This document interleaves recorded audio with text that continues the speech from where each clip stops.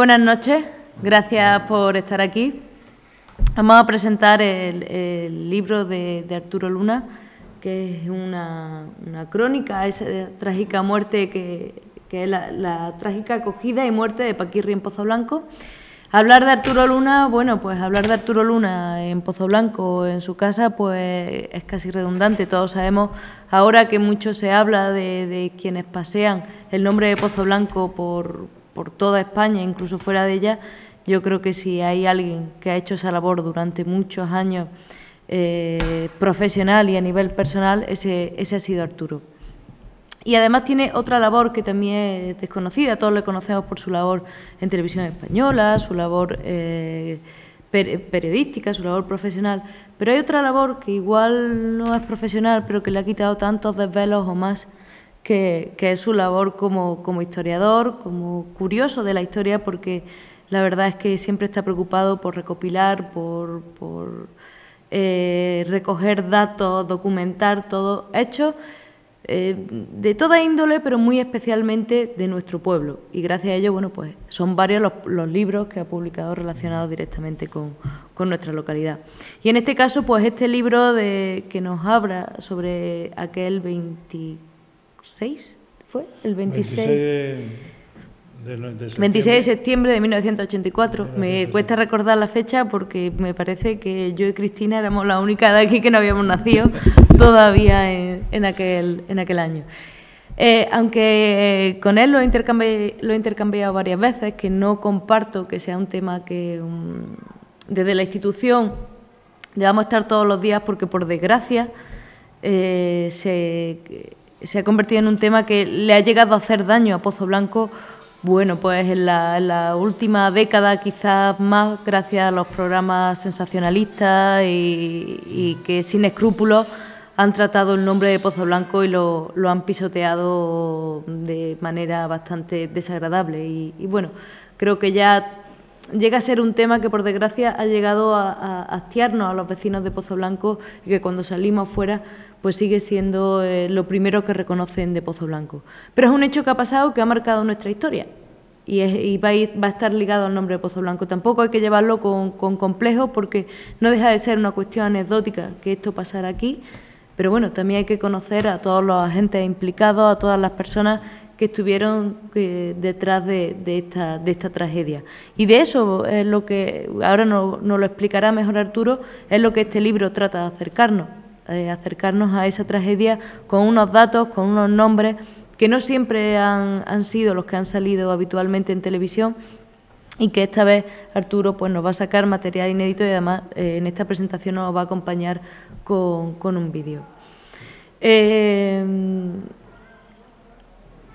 Además, tengo la cuestión personal de que mi padre estaba directamente ligado con esta, con esta tragedia. Y he escuchado muchas cosas eh, siempre pues ya de, eh, de oídas porque como he dicho no, no he vivido no viví aquella situación. Pero es verdad que he escuchado muchas cosas y algunos de los personajes de los que él habla pues en mi casa los lo recuerdo de, de oídas y gracias a este libro yo les he puesto lo he, lo he ido ubicando.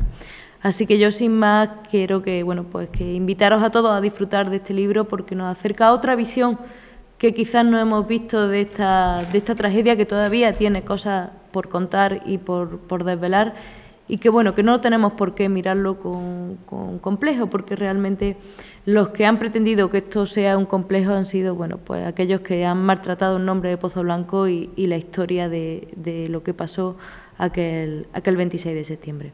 Así que sin más yo le doy la palabra a Arturo, que es quien mejor nos puede desglosar pues y contar este, este libro. Buenas tardes.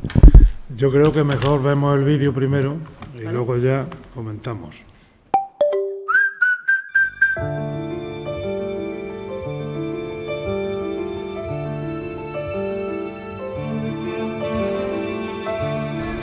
Yo sé que muchas personas, muchos periodistas, mucha prensa, le ha echado la culpa, bien sea a un pueblo, a una persona o a alguien. Yo solamente querría añadir que Paquirri estaba destinado a morir en la plaza de, de Toros de Pozo Blanco el día 26 de septiembre del 84. Si hubiera toreado en otra plaza, quizás no hubiera ocurrido nada. Pero el 26 de septiembre estaba Paquirri destinado a morir aquí. Dios tiene la última palabra en las personas.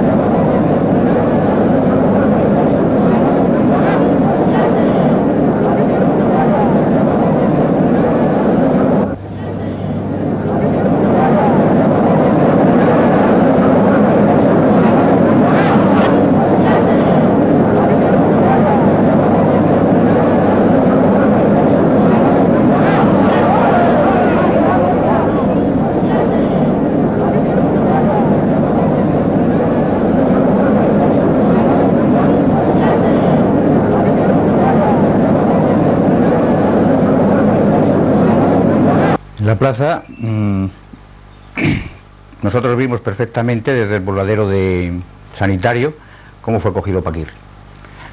Eh, en ese momento vimos que el cuerno entraba profundamente en el muslo de Paquirri, que este, el toro lo elevaba, que parecía que el, el pitón se clavaba más y más. Y en ese mismo momento salimos, mm, vimos salir un gran borbotón de sangre y Rafael y yo salimos corriendo diciendo, vámonos, que tenemos una gran jornada. Salimos hacia la enfermería y en unos momentos angustiosos en los que veíamos que el torero no, no era capaz de salirse del toro, fuimos hacia el portón de, de, salida, seguíamos mirando para atrás y el torero todavía seguía, seguía clavado en el asta del toro. Y se nos hacían angustiosos los momentos en los cuales el torero no llegaba. Tardó bastante en llegar. Cuando llegó, venía mucha gente con él, como casi siempre sucede en las cogidas. Mm, el que aparentemente más tranquilo era el torero, y el torero ponía tranquilidad en todo el mundo. Nos dijo, eh, doctores, tranquilos, yo he sufrido muchas jornadas, esta es una jornada seria, pero ustedes tranquilos. Mm, tanto don Rafael y Luis González como yo nos fuimos a lavar y entonces él insistía en que quería verme a mí. Yo me resistí un poco porque queríamos enseguida terminar aquello para empezar a operar, pero él insistió y entonces me acerqué a él y pregunté, ¿qué quieres, Paquirri? Y dice, mire usted, doctor, quiero explicarle cómo ha sido mi jornada. Tengo una trayectoria hacia arriba, tengo otra hacia abajo y otra para allá o para acá. Y ustedes tranquilos, ustedes a trabajar, que y abran por donde puedan, que nosotros, yo entrego su, mi vida en ustedes. Eh, procuramos eh, que aquel follón inicial de la enfermería, en el cual se había eh, metido mucha gente, había metido mucho público, que es muy corriente cuando sucede la acogida de un toro, de un torero, logramos que la gente saliera, logramos poner un poco en orden aquello y entonces eh, comenzamos a operar y vimos que había un gran cornalón, era lo que en el argot taurino se llama el muslo partido. Exploramos la herida para hacernos una idea de lo que allí había y entonces nos dimos cuenta enseguida que el gran paquete vasculonervioso estaba roto, estaba seccionado, estaba partido, con una gran separación de los extremos de, de, los vasos grandes.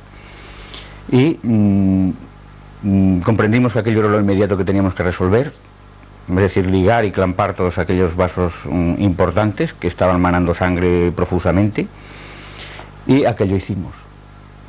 Nos costó, puesto que no es fácil, ¿eh? cualquiera que sepa de este tema sabe que no es fácil en una herida de estas, en las cuales había grandes trozos musculares, encontrar todos esos cabos para ligarlos, todos esos vasos sangrantes. En el momento que me estaba poniendo la bata, hay un dato que se le ha olvidado a, a mi compañero Eliseo que fue la sugerencia a través de todos los la cuadrilla y que él lo pedía también porque el, nombre de Ramón Vila circulaba ya desde que venía por, los, por, la, por el callejón de que el Beca Belmonte llamó a Sevilla localizó a Ramón Vila. Entonces Ramón Vila dijo que qué es lo que había pasado, que qué problema el que tenía. Entonces le dijeron que había tenido una cornada muy grave, que médico estaba ahí, pues don Eliseo Morán en ese momento se puso al, teléfono, estuvo cambiando impresiones con él y las palabras que me dijo, las mismas que me dijo a mí a continuación, hazle una cura de urgencia y enseguida trasladarlo a Córdoba en busca de Rafael Ruiz. Eliseo comentó, si Rafael Ruiz está aquí, pues que se ponga. Voy abrochándome la bata estéril que ya me estaba colocando y me dice Ramón, mira, no hemos explorado todavía la herida, le comenté. En cuanto la exploremos ya te podremos indicar cómo es esto, pero desde el principio es una cornada gorda. Coge, liga todo lo posible y trasládalo a Córdoba. Muy bien, pues a través de, Beca del Monte tendremos enterado. Y llegó un momento en que nosotros logramos dominar completamente la hemorragia. Ligamos los cabos, los campamos y llegamos a, estar completamente convencidos de que la hemorragia había cedido. Sobre todo la, hemorragia importante.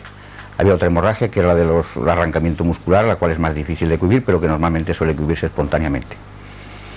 Entonces, mm, inicialmente ya habíamos explorado la herida, eh, de todas las trayectorias que tenía, y había otra trayectoria también muy grande hacia el centro del muslo, que fue quizá lo que más nos costó ligar, porque en ella estaba la femoral profunda y logramos también ligarla. Y después de ver que aquello estaba dominado, que la hemorragia dominó, estaba dominada, fue cuando mm, pensamos y decidimos que teníamos que trasladar al enfermo, al torero, porque el problema no estaba resuelto del todo y se iniciaba, o había empezado ya, o estaba instaurado un show verdaderamente serio eh, del torero.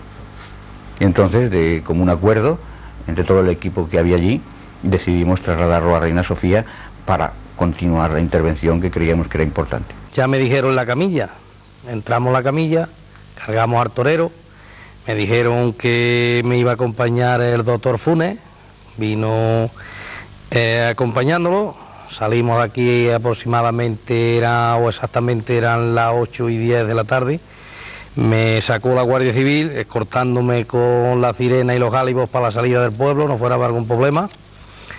Y ya la salida del pueblo la Guardia Civil me dejó a mí en ruta y pasamos un camino bastante acelerado, no la jugamos porque corrimos muchísimo, muchísimo expuestos a matarnos pero llevábamos entre manos una cosa tan delicada que era la vida de una persona. En esos momentos el doctor Funes prepara todo su material de sueros y la sangre que ya estaba colocada en el suero de Paquir, en el brazo de Paquirri. Y empezamos el, traslado. Él va en la ambulancia con el torero y un hombre de confianza va en la parte de adelante con el chofer, que es su mozo de espada Ramón Alvarado. Yo voy en el coche posterior con el hermano, con su hermano que va conduciendo y Ramón y Beca Belmonte que va detrás. Iniciamos la salida con un coche de la Guardia Civil abriéndonos camino, el cual se queda al salir de Pozo Blanco en la gasolinera y nosotros continuamos la marcha.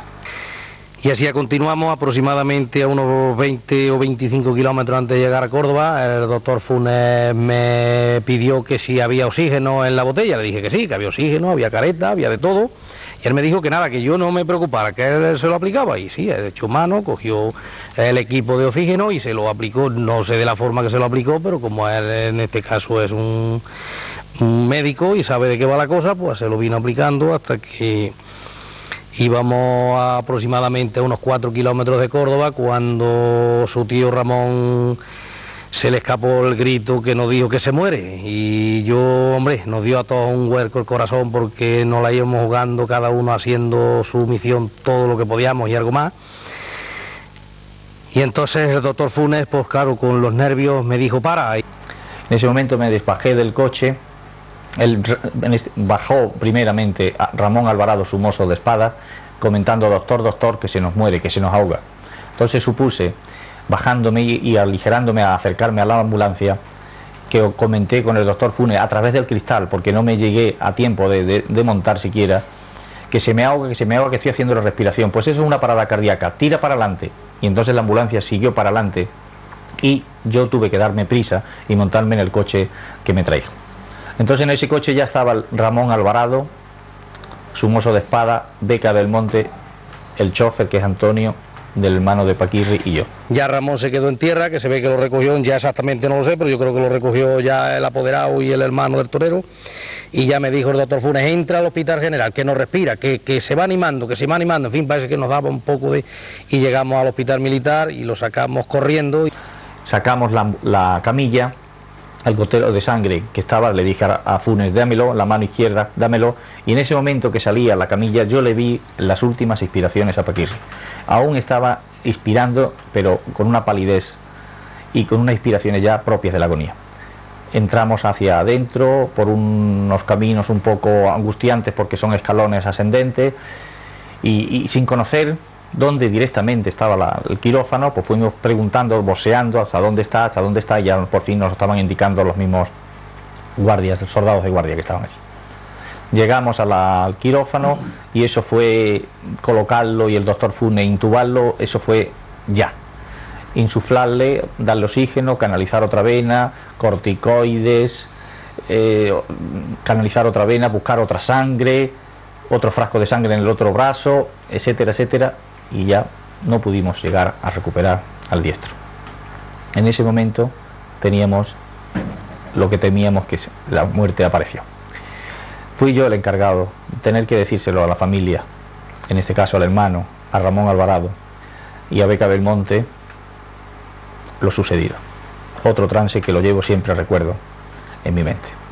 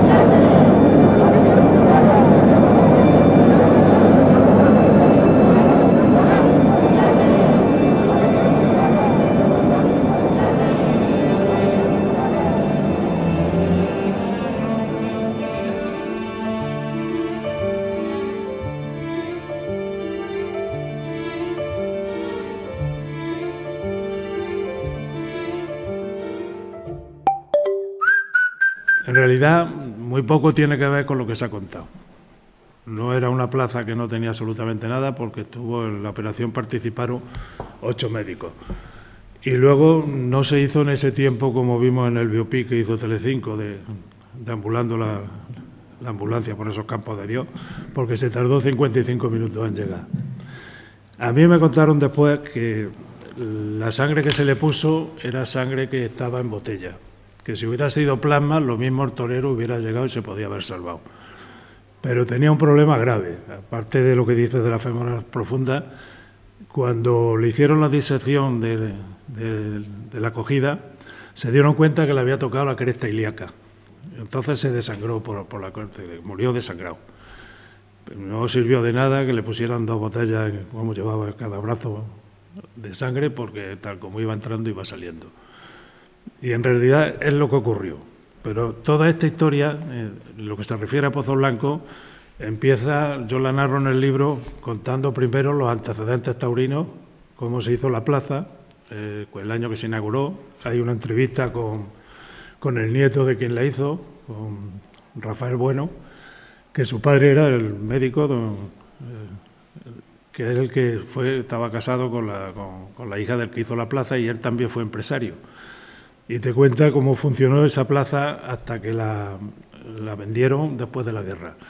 Después de la guerra estuvo en manos de un, de chatarrero de Córdoba y así hasta que la compró el ayuntamiento prácticamente en el, 1800, en el 1983, que fue la primera corrida que dio ya financiada por el ayuntamiento. Esa corrida fue un éxito tremendo, se llenó la plaza y ahí mismo se decidió que Paquirri viniera al año siguiente. Y Paquirri, viendo el éxito que tenía y lo mal que lo estaba tratando la crítica, decidió mm, montar su propia compañía. O sea, compró 40 corridas, le firmó 40 corridas de apoderamiento al Soro y el que iba a venir era un torero que representaba, que era Galloso, que lo representaba a Canorea, era el tercero del cartel se cayó del cartel y metieron al Gillo porque iban a hacer una corrida de banderilleros. Y esa corrida, mm, él era, el, traía a su hermano Antonio para que actuara de manager, lo iban enseñando. Y a la vez también tenía pensado que por la noche actuara la Pantoja. Eran 40 espectáculos que se iban a hacer en los ayuntamientos y prácticamente los tenían todos ya organizados y vendidos para dos años. Así que lo que se llevó el toro por delante fueron muchos miles de, millones, no ya por encima de, mil millones seguro en, una temporada. La prueba está que la familia de, de Paquirri ya no dejó, el mundo del toro vino hacia abajo con ellos. Todo eso es lo que se jugó aquí en Pozo Blanco, que no fue una corrida improvisada, como se dice, era una corrida pensada y la segunda parte del libro es cómo se organiza la corrida. Ahí los toros que se eligieron, el ayuntamiento tenía un, en el contrato, se reservó el derecho de ver los toros y elegir los toros. Y la comisión de festejos fue a verlos y eligió una corrida de Antonio Gavira. Entonces que le, dijeron que sí, que de acuerdo. Y esa es la corrida que siempre estuvo creído el ayuntamiento que iba a venir. Hasta tal motivo que el día de, anterior que se hicieron la corrida de Rejones, eh, se terminó muy tarde, llegaron los toros en los cajones y no se vieron, no los soltaron. A la mañana siguiente, cuando ya llegó la hora del sorteo, poco antes lo sacaron y se dio cuenta que era la corrida de Sayalero y Vandrés. La corrida de Sayalero y Vandrés la había rechazado el ayuntamiento por chica. Pero hay una cosa, Paquirri era muy agarrado. Paquirri no pagaba mm, algo que no pudiera pagar. Y entonces a su cuñado, a Beca Belmonte, lo tenía no como apoderado, sino como hombre de confianza. Y le pagaba como vedor, es decir, se llevaba el corretaje del 10% por ver la corrida. Y la corrida de, Gavira ya le había pagado el corretaje al hombre de confianza de, de Canorea, que era Jesús Jiménez. Y dijo Gavira, que yo estuve entrevistándolo poco tiempo después, que él no estaba dispuesto a pagar otro corretaje porque había aprendido la carrera, la corrida muy, muy barata y no, no le iba a ganar nada. Entonces, por los, los 2.400, los 240.000 pesetas que era el corretaje de esa corrida, vino la de Sayalino Andrés. Es decir, que ellos mismos eligieron los toros, porque Pozo Blanco esos toros no los quería. Es otra de, esa leyenda que hay de que el toro estaba predestinado. Son, bulos de, la historia del, avispado, que ni era tal toro ni era como lo pinta. Se da la corrida y con el, con, el desastre que ocurre en, la, en el cuarto toro. Cuando el cuarto toro sale, mm, tarda en salir muchísimo porque se despistó por la T que tenía el enchiquero. Y sale con una velocidad inmensa. Un toro, yo no he visto un toro que saliera más fuerte que, salió ese. Y él lo recibió en, la suerte contraria, en la tercera suerte que normalmente ningún matador recibe ahí.